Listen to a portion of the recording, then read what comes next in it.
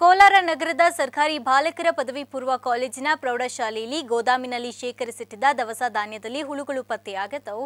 ತಾಲೂಕು ಪಂಚಾಯಿತಿ ಸಹಾಯಕ ನಿರ್ದೇಶಕ ಸುಬ್ರಹ್ಮಣ್ಯ ನೇತೃತ್ವದಲ್ಲಿ ಪರಿಶೀಲನೆ ನಡೆಸಿದ್ರು. ಶಾಲೆಯಲ್ಲಿ ಗುಣಮಟ್ಟದ ಬಿಸಿಯೂಟ ಪೂರೈಕೆ ಆಗುತ್ತಿಲ್ಲ ಅಂತ ತಾಲೂಕಿನ ರೈತ ಸಂಘದ ಮುಖಂಡರ ದೂರಿನ ಮೇಲೆ ಪರಿಶೀಲನೆ ನಡೆಸಲಾಗಿದ್ದು, ಧಾನ್ಯಗಳಲ್ಲಿ ಹುಳು ಬಿದ್ದಿರುವುದು ಕಂಡುಬಂದಿದೆ ಅಸಲಿಗೆ ಪಿಎಂ ಪೋಷಣ್ ಯೋಜನೆಯಡಿ ಪ್ರೌಢಶಾಲಾ ಮಕ್ಕಳಿಗೆ ಮಧ್ಯಾಹ್ನದ ಊಟ ನೀಡುವ ಯೋಜನೆಯಡಿ ದವಸ ಧಾನ್ಯಗಳನ್ನು ಸಂಗ್ರಹಿಸಿ ಇಡಲಾಗಿತ್ತು.